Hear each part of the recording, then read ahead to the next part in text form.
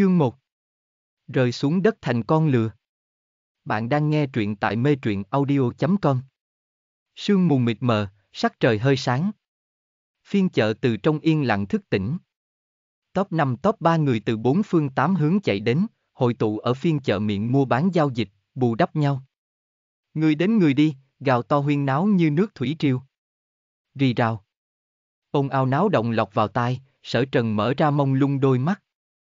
Lọc vào trong tầm mắt, là từng đôi vãng lai đi lại hai chân, có người lấy giày vải, có người mang giày cỏ, cũng có dứt khoát đi chân trần, không phải trường hợp cá biệt.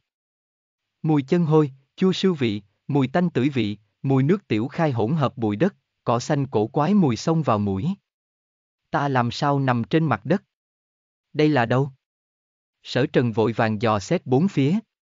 Đây là một cái náo nhiệt cổ đại phiên chợ, người chung quanh hết thảy đều là cổ nhân cách ăn mặc, vải bố ráp áo, người đeo bao khỏa, hàng rương, lui tới, dòng người như nước thủy triều. Không đợi hắn kinh ngạc quanh mình hoàn cảnh, tiếp xuống phát hiện để hắn trực tiếp trợn tròn mắt. Hắn co quắp tại trên mặt đất, toàn thân trải rộng xõa tung tạp nhạp lông tóc, một đôi móng cắm vào xốp trong đất buồn, một cây dây cương bọc tại đầu hắn bên trên, một chỗ khác thắt ở trên mặt cọc gỗ, một bên còn có dê, con lừa, con la loại hình, đồng bạn đánh lấy vang minh, vẫy đuôi. Sở trần. Xuyên qua rồi. Hơn nữa còn là biến thành gia súc. Không hợp thói thường mẹ hắn cho không hợp thói thường mở cửa, không hợp thói thường đến nhà. Đồng hương, đầu này con lừa mấy cái đồng tiền. Nhìn xem rất nhỏ gầy, nghĩ đến 200 cân cũng chưa tới, còn không có nhà ta con lừa một nửa lớn, quá nhỏ gầy. Cái này con lừa thế nào im không kéo mấy. Đồng hương, ngươi đây có phải hay không là một đầu bệnh con lừa? Ba chít chít. Thỉnh thoảng có người dùng chân đá sở trần con lừa cái mông, tới tới lui lui dò xét. Sở trần trợn tròn mắt. Gầy con lừa. Bệnh con lừa. Xuyên qua hắn có thể tiếp nhận, thế nhưng là mặt thành con lừa bên đường bán, cái này để cho người ta không có cách nào tiếp nhận. Có lẽ là cảm xúc kích động, đầu óc chấn động, tùy theo số lớn ký ức đột nhiên tràn vào trong đầu. Vừa mới tỉnh lại hắn lại đã ngủ mê man rồi. Nguyệt chiếu thương rêu, giai phiêu lá vàng. Sở trần lại một lần từ trách nát không người thôn hoang vắng thổ địa miếu mơ màng tỉnh lại. Ánh lửa hơi sáng, chiếu sáng quanh mình hắc ám. Từng đạo bóng đen lui tới đỡ nồi nấu nước, đốt cháy rừng rực củi lửa đông đốc trung động. Con lừa tỉnh, lão gia, kế tiếp là không phải cắt cái cổ lấy máu, nước sôi hao lông. Một cái giòn tan giọng trẻ con kinh hỉ reo hò, từ xa mà đến gần. Sở trần tâm lọc bọc nhảy một cái. Cắt cái cổ lấy máu, nước sôi hao lông. Khá lắm, đây là hấp vẫn là đồ nướng. Sở trần kinh ngạc, cả người, không, toàn bộ con lừa đứng lên, dùng sức quá mạnh, dây cương kéo tới đầu hắn, cổ ẩn ẩn làm đau. Hắn hữu tâm cao giọng hò hét, đáng tiếc đầu lưỡi đâm đâm, làm sao cũng nói không ra một câu tiếng người, chỉ có con lừa minh, ô ô, xong. Sở trần mất hết can đảm, trong lòng phát khổ. Hắn xem như người xuyên Việt bên trong lẫn vào kém nhất, không chỉ có không hiểu thấu từ người biến thành con lừa, này lại càng là nguy hiểm đến tính mạng. Sở trần hữu tâm tránh thoát dây cương, đánh thẳng lượng một bên cọc gỗ. Một vị tuổi chừng mười mấy tuổi, môi hồng răng trắng, da thịt trắng nõn tiểu đạo đồng đi tới. Hắn một thanh mở ra trên mặt cọc gỗ dắt dây thừng, thô lỗ túng động dây cương, làm bộ muốn đem hắn kéo đi đóng lửa thạch nồi lấy máu cạo lông. Tiểu đạo đồng dáng người nhỏ, khí lực lại lớn đến lạ kỳ, kéo đến sở trần đánh một cái lão đảo, kém chút ngã sắp. Tiểu quỷ tử, chớ có đánh. Lúc này, một vị áo xanh đạo bào trung niên đạo sĩ ba chân bốn cẳng, đoạt lấy tiểu đạo đồng trong tay dây cương, quát lớn. Để ngươi mời đi theo, ngươi liền như vậy nài ép lôi kéo. Không tưởng nổi. Tiểu đạo đồng sờ lên đỉnh đầu nhỏ búi tóc, một mặt vô tội, miệng nhỏ lầm bầm.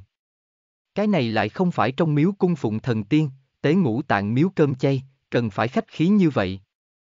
Trung niên đạo sĩ tức giận lườm đạo đồng một chút. Ai nói đây là ăn uống? Không có điểm nhãn lực kinh. Tiểu đạo đồng sững sờ, không phải ăn, chẳng lẽ dùng để thay đi bộ. Nhìn đầu này con lừa gầy không kéo mấy, hiển nhiên một đầu bệnh con lừa, hắn cưỡi còn tạm được, căn bản năm không được nam tử trưởng thành, lão gia mua được không phải bữa ăn ngon, còn có thể làm gì? Ngay tại một già một trẻ nói chuyện thời khắc, sở trần phát hiện phụ cận có một ngụm tàn phá hơn phân nửa cái hũ, cái hũ bên trên đựng đầy nước sạch. Rất hiển nhiên, trong cái hũ nước sạch là đạo sĩ, đạo đồng hai người dùng để uống nước. Nước. Sở trần hai mắt tỏa sáng. Ở kiếp trước, hắn nghe qua một cái tạo súc thần quỷ chí quái cố sự, người bị bàn môn tả đạo tà dị bí thuật biến thành gia súc về sau, chỉ cần uống nước sạch liền có thể mở ra pháp thuật, biến trở về thân người. Sở trần trong lòng dâng lên một vòng hy vọng. Đã tạo xuất thuật, loại hình đồ chơi đều tồn tại, giải thích pháp khẳng định không phải không có lửa thì sao có khói. Nghĩ đến cái này, hắn không có suy nghĩ nhiều, bỗng nhiên nhào về phía tàn phá cái hũ, miệng lớn uống ừng ực nước sạch.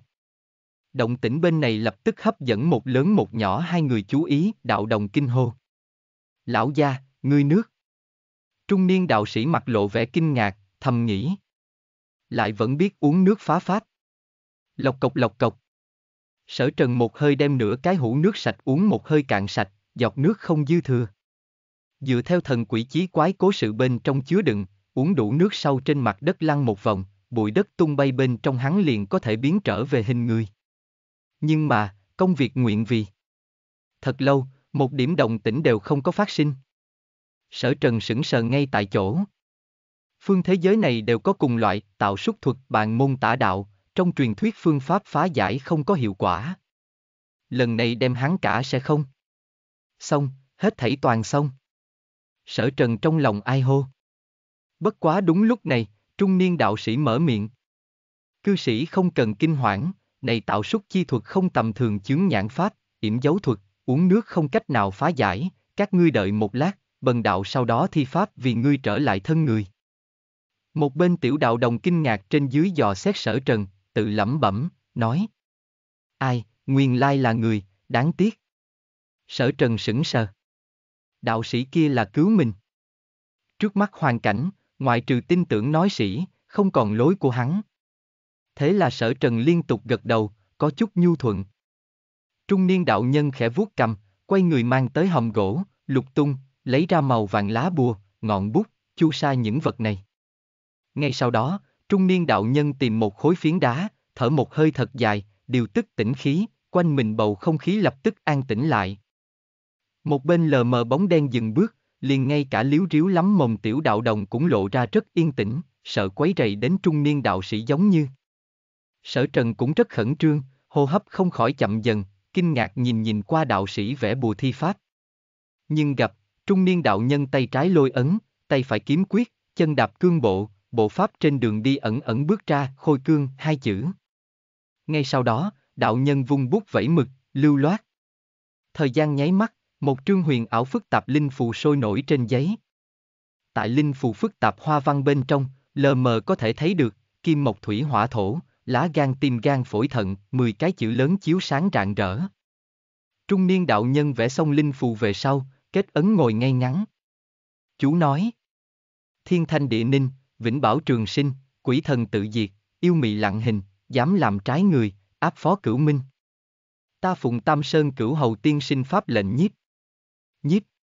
Theo đạo nhân hét lớn một tiếng, linh phù không lửa tự đốt, hóa thành chăm chút lửa chỉ riêng nhào về phía sở trần toàn thân. Trong chốc lát, năm đạo vĩ ngạn thần linh thân ảnh dáng lâm quanh thân, một cổ khó mà nói rõ uy áp phô thiên cái địa đè xuống. Ô, sở trần chỉ cảm thấy thể nội một trận dời sông lấp biển, đau đớn không thôi, bộ mặt vặn vẹo biến hình, toàn thân càng là tản mát ra nồng đậm hắc khí, một tiếng tiếng kêu thảm thiết đau đớn từ trong thân thể của hắn bộc phát. Hưu. Ngay sau đó, một đạo vặn vẹo hắc khí từ sở trần thể nội chạy trốn mà ra, muốn trốn chi yêu yêu. Nghiệt chướng. Chạy đi đâu? Trung niên đạo nhân một tay bóp kiếm quyết, một tay hóa trảo cầm nã, một tay lấy bắt lấy. Nhưng gặp, đạo nhân trong lòng bàn tay, một đoàn hắc khí hóa thành một đầu mini con lừa nhỏ, bốn vó đá lung tung, dãy dụ tê minh. Tự do. Sao có thể dựa vào kẻ địch ban phát? Tự do chính bản thân mình giành lấy, tự do nào mà không cần phải trả giá. Thái bình nào không nhúng mùi máu tanh. Nghe trọn bộ tại mê truyện audio.com, link trực tiếp ở phần mô tả.